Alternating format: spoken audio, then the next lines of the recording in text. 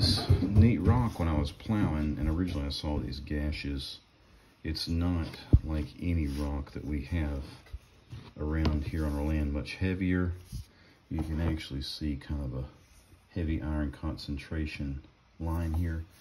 And there's these X's grooved all over it. That's not from a disc going over it. It's much too hard to be kind of from farming practice. Much too smooth, doesn't match the quartz in our area.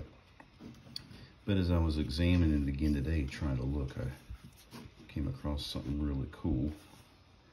If you kind of look right there, you can see the fossil imprint on it.